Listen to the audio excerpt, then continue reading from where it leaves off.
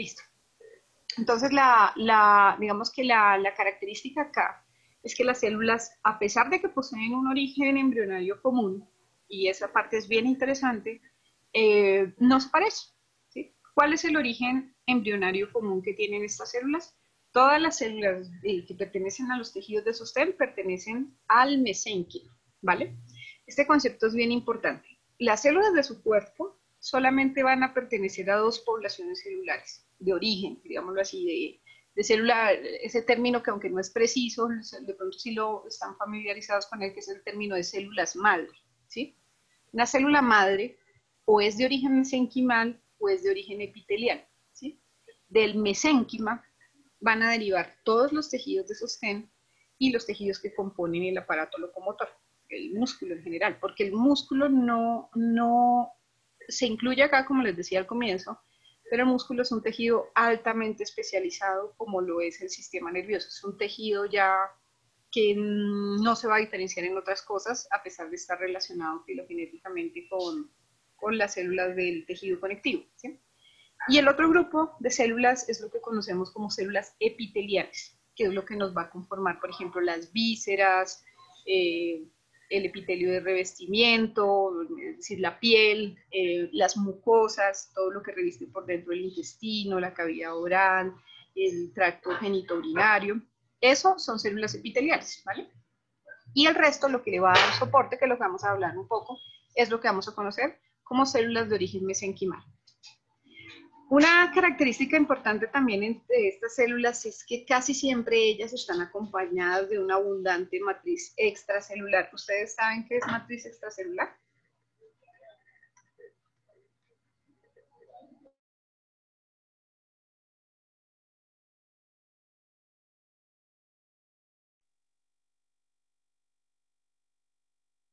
¿Conocen ese término o lo han oído mencionar?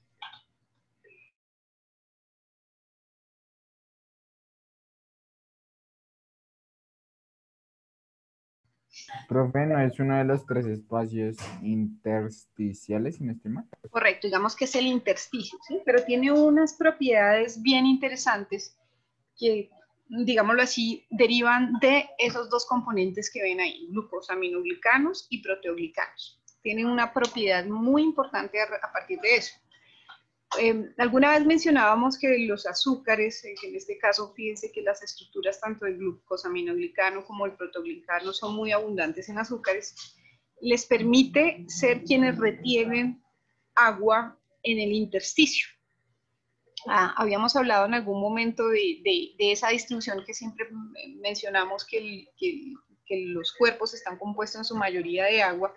Bueno, este es uno de los principales espacios donde se almacena el agua y tiene una cantidad de propiedades aún más interesantes. Eh, aquí vamos a encontrar algunas células que son propias del tejido conectivo, como son los fibroblastos, que son los que sintetizan, por ejemplo, el colágeno. ¿sí? Entonces, eh, esa es la parte interesante del colágeno. El colágeno tiene la función de contribuir en esa estructura de los órganos, pero además nos ayuda a que los tejidos retengan líquido, es decir, garantiza que el tejido tenga hidratación y además, como ustedes pueden ver por las dos palabras, tengan disponible material energético y estructural que les ayuda a, a, llevar a cabo sus funciones diarias. ¿sí? Como, como habíamos hablado del cardiovascular, del corazón y la sangre y de los vasos sanguíneos, hay una cosa que es importante. El bombeo sanguíneo o el volumen sanguíneo, mmm, digamos que la sangre no siempre está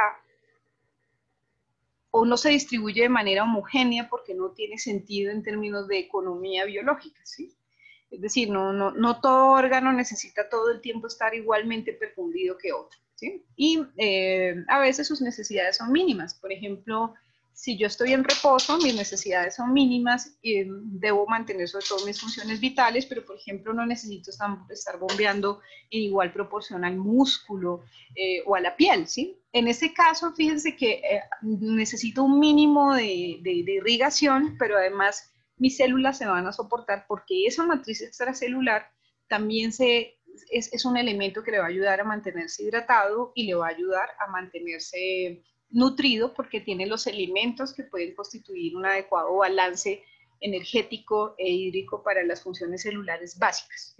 Ya cuando yo demando otras actividades, pues eh, se perfunde de manera adecuada, mm, eh, entran a jugar otros procesos, pero es decir, el, cuerpo está diseñado para que en caso tal de no tener la suficiente perfusión o por, por, por, simplemente por demanda o porque en algún momento dado yo estoy en una situación de restricción, fíjense que yo tengo una cantidad de almacenes, que ya los vamos a ver más adelante, quién más está aquí participando, que de alguna manera me van a permitir que yo tenga disponibilidad energética. Mm, cuando hablamos de conectar, esa es otra función importantísima de las, del tejido de sostén. Fíjense que si que la única manera en que se establece la relación entre órganos es a través a veces de pequeñas membranas y superficies de contacto que ayudan a que algunos órganos interactúen entre ellos. Hay un principio bien importante de la, de, la conducta celular y es que las células tienen una limitación de crecimiento una vez entran en contacto con otras. ¿sí? Eso es lo normal. Por eso ustedes ven que, es decir, un hígado alcanza un tamaño, pero no sigue creciendo como loco hasta un límite desproporcional se, supone que mi número de células está establecido desde mi material genético. Yo no debo tener más de ciertas células, ni mis órganos deben poseer más de ciertas células. Es decir, hay un límite de crecimiento establecido y normalmente de ahí no se, no se pasa. Entonces, ¿qué hacen los órganos? Bueno, y eso es lo otro. Los órganos, cada quien por aparte, fíjense que están aislados todos por cápsulas. Yo no tengo tejidos que realmente estén en contacto con otros, ¿no? Ellos no se entremezclan, no...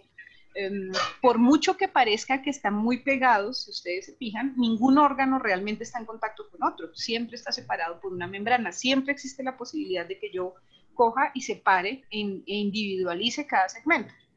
Entonces, ¿Cuál es esa función tan importante que va a cumplir el tejido sostén? Me va a ayudar a interrelacionar sistemas, a interconectar funciones a través de la manera en que él se va eh, distribuyendo en los órganos. Hablábamos, por ejemplo, del, del corazón. Eh, el corazón, claro, está compuesto de cardiomiocitos, pero si yo pongo esos cardiomiocitos al azar, pues no forman una masa de células que no necesariamente va a tener una estructura. Entonces, ¿de qué va a depender que tenga esa estructura? Pues de estas células que son las que van a formar como, como una estructura a través de la cual ella se puede unir y formar realmente un órgano que tenga una lógica. Y por esa razón, digamos que a pesar de que se ha trabajado mucho, no ha sido todavía posible mm, hacer trasplantes, por ejemplo, de mis propias células. ¿sí? Eh, ustedes ven que ahora se están tratando de almacenar células del cordón umbilical.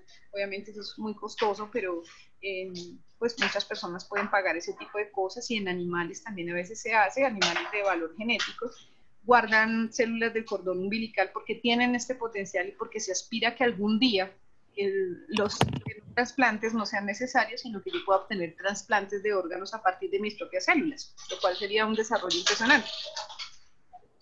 El dilema del, del trasplante propio, ¿sí? del, trasplante autólogo es esto que les estoy mostrando. Una cosa es que yo tenga células hepáticas y otra cosa es que yo haga un hígado. ese, es, es, como uno de los grandes misterios de la, de la biología. Una cosa son las células que cumplen la función y otra cosa es que yo estructure un órgano realmente completo. Se ha trabajado en formar primero esos armazones, mm, voy a ver si encuentro un artículo muy chévere que les, les comparto de esto. Por ejemplo, em, se le pone una estructura que si no me equivoco es de colágeno a algunos eh, ratoncitos en el dorso y se le permite a las células epiteliales crecer encima de esa estructura, digamos que esa estructura la hacen con forma de orejitas o forma de naricitas, para poder hacerle trasplantes a algunas personas eh, a partir de células que se regeneran sobre un armazón de colágeno. Obviamente suena un poco aberrante, digámoslo así, pero es el futuro de los trasplantes. Eh, los trasplantes tienen muchas implicaciones en términos de costos para la salud del trasplantado y obviamente la disponibilidad es poca, entonces obviamente sí se trabaja bastante en tratar de encontrar, eh, eh, digámoslo así, alternativas para poder llegar algún día a formar o estructurar un órgano y poder obtener tejidos de esa manera y no tener que acudir a una situación tan riesgosa e incluso ilegal como en muchos casos como lo es un trasplante de órganos, ¿vale? Eh, la forma de los órganos, como les decía, entonces va a depender de esto. Y esa forma en gran medida determina la funcionalidad de muchos órganos. Y fíjese la relevancia de eso. Eh, está tan bien diseñado que obviamente la forma que le otorgue es quien determina realmente qué es lo que va a hacer ese órgano. A mí de nada me sirve un montón de células que en, teoría van a conformar un pulmón si la estructura del, pulmón, es cerrada o se vuelve una bola o no se desarrolla. Es decir, la, importancia de esta estructura es tan relevante como la función orgánica. Eh, se menciona el mecanismo de defensa, pero por supuesto el colágeno es esencial, fundamental en la defensa y en la reparación. No existe ningún proceso de reparación que no involucre la participación de células de mesénquima que vuelvan y le den estructura a un órgano. Es esencial que se conforme porque básicamente estas células son las que van a ser mecanismos de barrera física en contra de posibles agresores, ya sean patógenos, ya sean elementos externos. Mm, es parte funcional, las características que, los tejidos de sostén adopten son los que van a facilitar o a dificultar el paso, por ejemplo, de células inmunes. Entonces, su estructura define en gran medida la, capacidad de defensa que pueda tener un órgano. ¿Hasta aquí alguna pregunta, muchachos?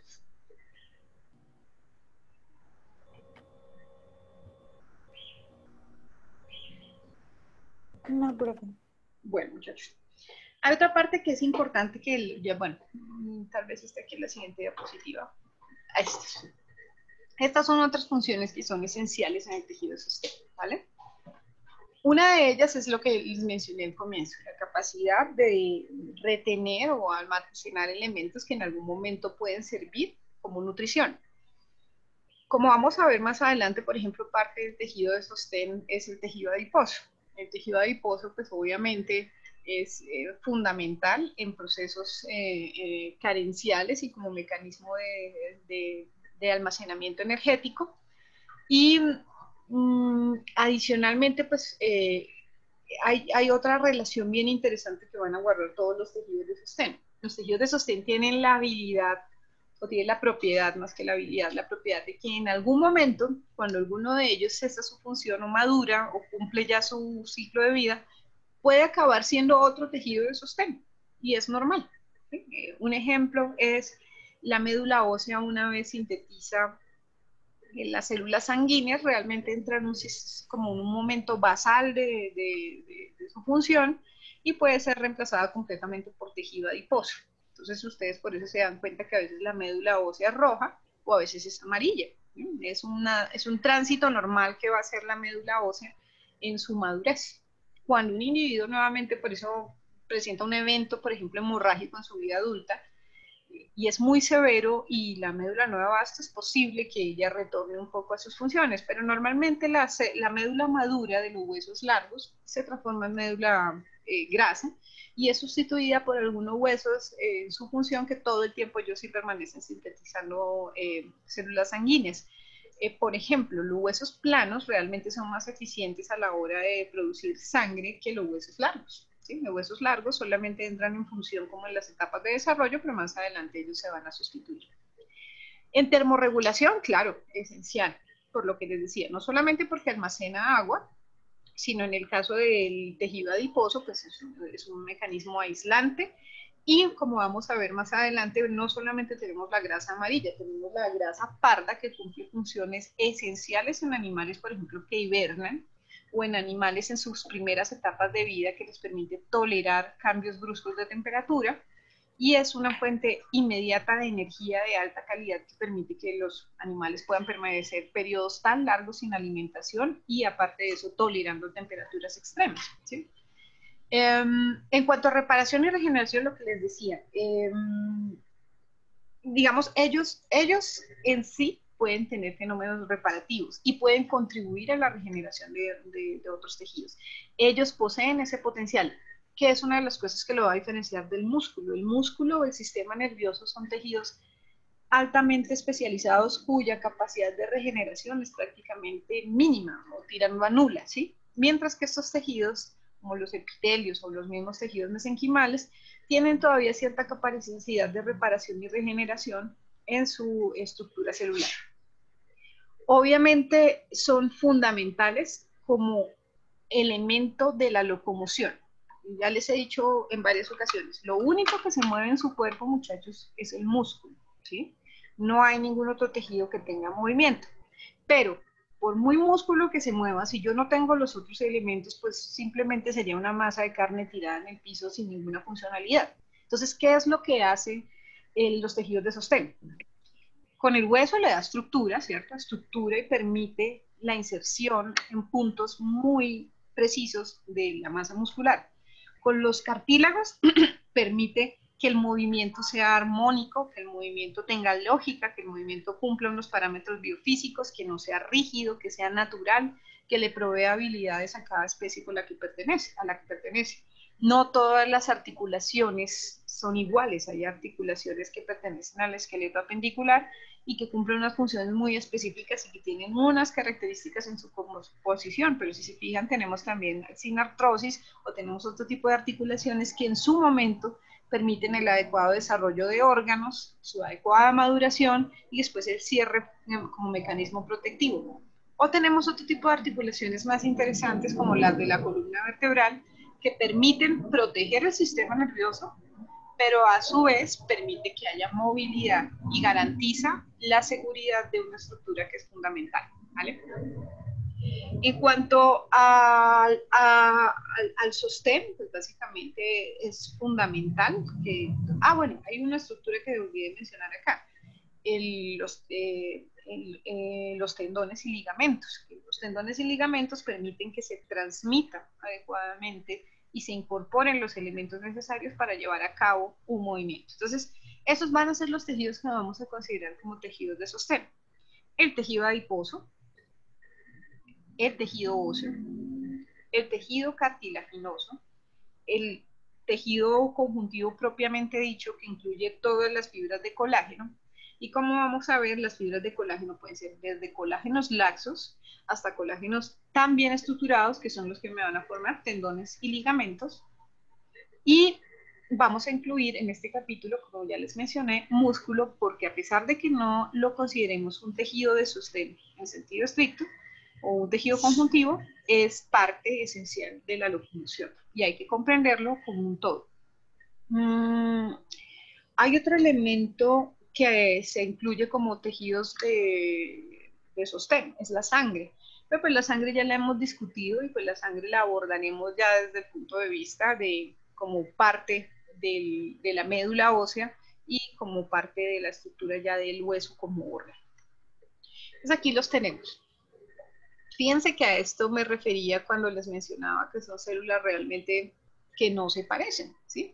Fíjense, en la parte de arriba, superior izquierda, ustedes están viendo una fibra de colágeno, eh, que básicamente, dependiendo de qué órgano estemos hablando, la podemos ver así, o realmente puede ser una estructura supremamente laxa, o puede ser una estructura también consolidada, como lo que conforma un tendón. Mm, la interpretación del tejido conjuntivo obedece más a, poder identificar la célula clave o estructural de ella, que se conoce como el fibroblasto, y tratar de identificar qué tipo, qué patrón de colágeno me está sintetizando. Los colágenos mm, cumplen funciones tan importantes, tan esenciales, que a veces no se pasan un poco por alto. Creo que yo les contaba a ustedes el, ejemplo de, lo que sucede con eh, la clonación en animales donde mm, digamos que por facilidad se emplean a veces células que pertenecen, en vez de utilizar células pluripotenciales, se han utilizado fibroblastos para la clonación. Esto genera anomalías en la conformación de algunas fibras colágenas y eso hace que, por ejemplo, estructuras como el trofoblasto, que es la estructura que se va a incorporar a la pared uterina para conformar la placenta, eh, no se forme bien. Entonces, por ejemplo, ya aquí tenemos una primera tarea para el grupo 1.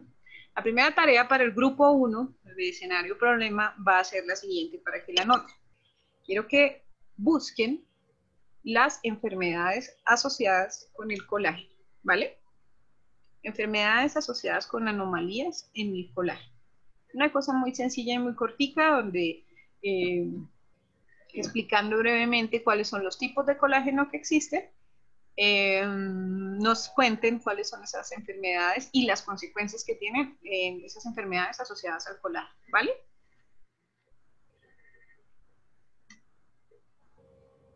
¿Listo? El grupo 1. Vale, Sí. Listo. El segundo tejido que ustedes ven ahí es el tejido cartilaginoso. Pero, por ejemplo, mm, si yo hablo de cartílago, ¿ustedes creen que es igual el cartílago que reviste una articulación del esqueleto apendicular que el cartílago que ustedes tienen en sus orejas? No, profe. ¿Y cuál es la diferencia? ¿Qué creen?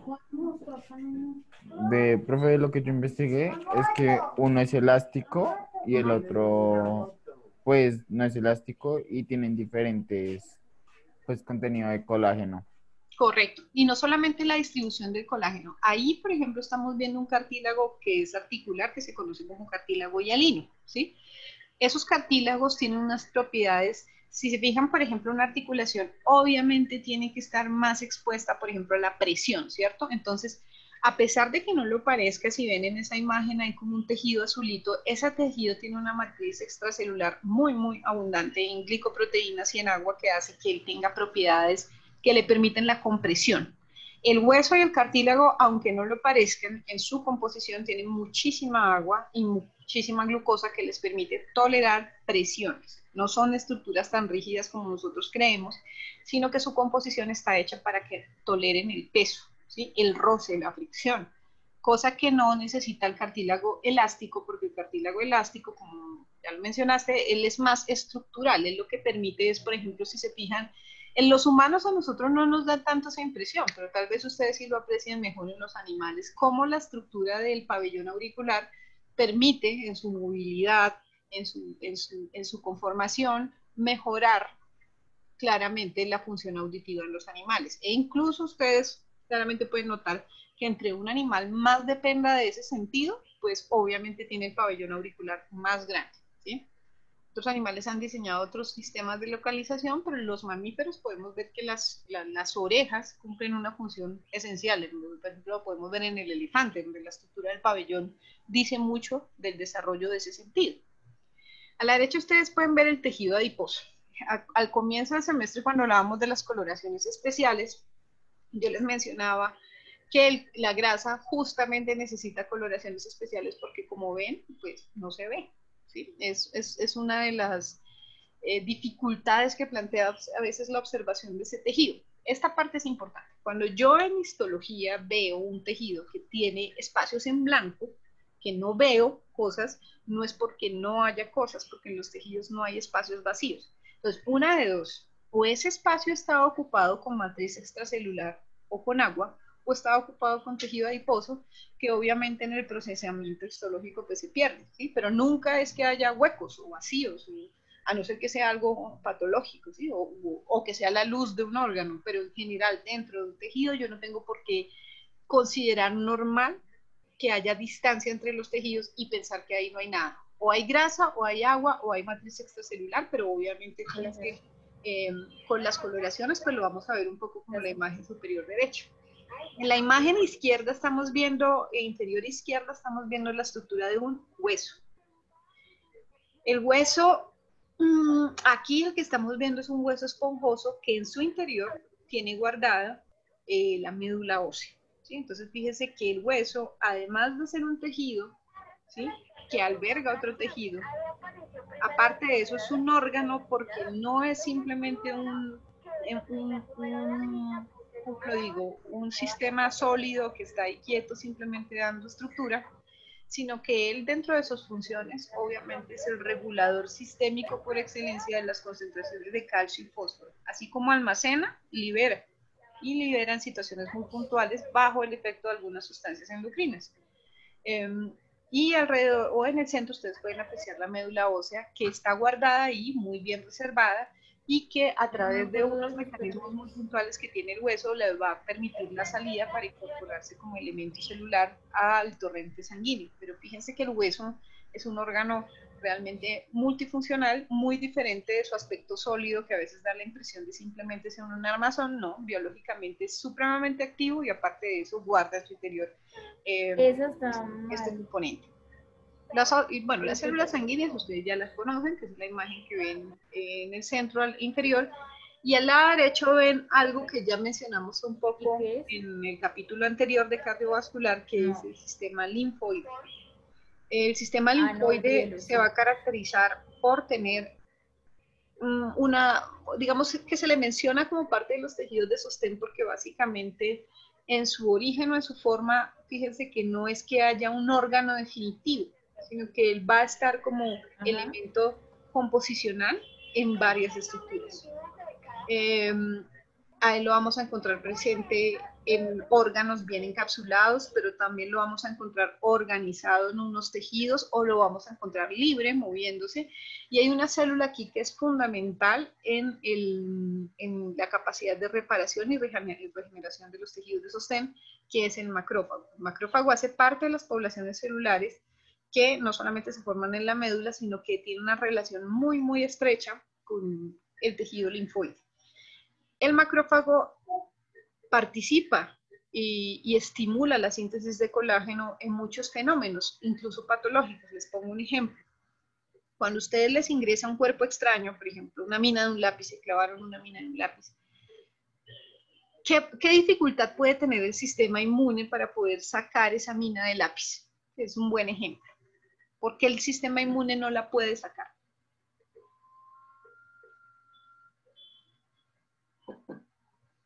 ¿Por qué es tan complicado lidiar con un cuerpo extraño?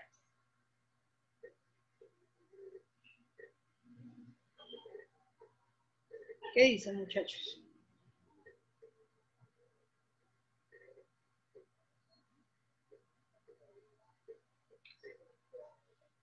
A ver, ¿quién se anima a decirme por qué? Si yo me clavo una mina de un lápiz, mm, ¿por qué mi sistema inmune no podría sacarlo? o qué tienen que hacer para sacarlo. O bueno, se lo pongo en un contexto más moderno. Se han visto ahora cada vez que esos modelos se inyectan cosas extrañas en el cuerpo, en las nalgas, en la boca, en la barbilla y después, oh sorpresa, esa cosa busca por dónde salir. ¿Qué creen que pasa ahí, muchachos?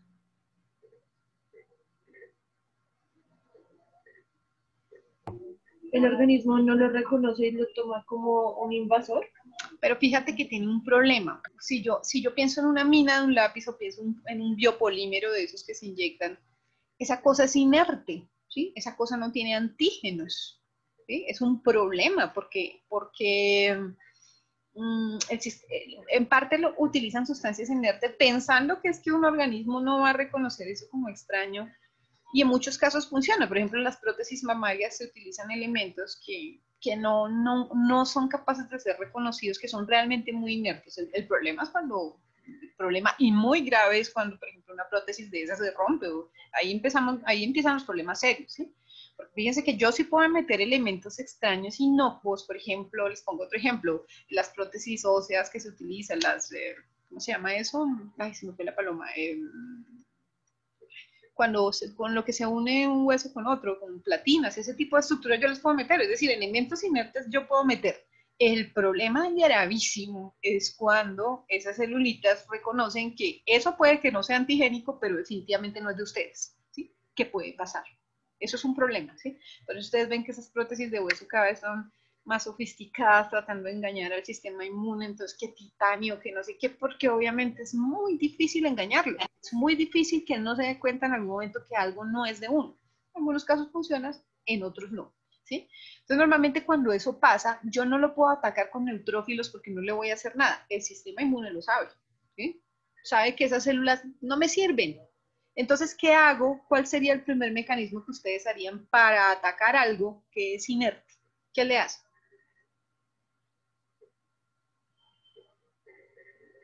Póngalo en la lógica que ustedes fueran macrófagos. Se les metió alguien en la casa. Se les está metiéndose alguien en la casa. No les sirve que le metan, eh, que lo insulten, no les sirve que le echen agua caliente, no les sirve que, yo qué sé, pongamos los extremos, que intenten agredirlo físicamente. Entonces, ¿qué pueden hacerle?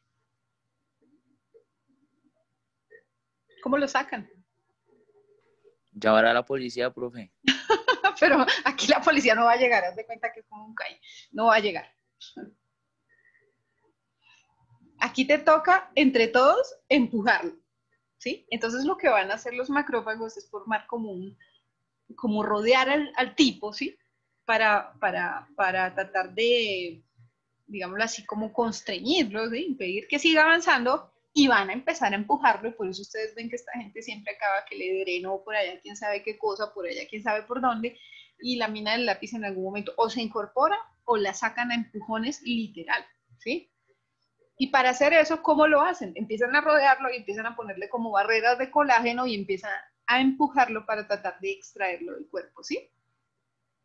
Entonces, fíjense que estas células son súper esenciales para poder responder ante elementos que son inertes, que yo no puedo, no lo voy a poder atacar con ninguna célula de defensa, porque pues obviamente no es algo que se vaya a morir, pero igual necesito sacarlo. Entonces, la clave, por ejemplo, en, en, en muchos elementos que, que, que, me sirven a mí para utilizar como prótesis o cosas así, fíjense que es que sea realmente inerte y por eso son tan costosos. ¿sí?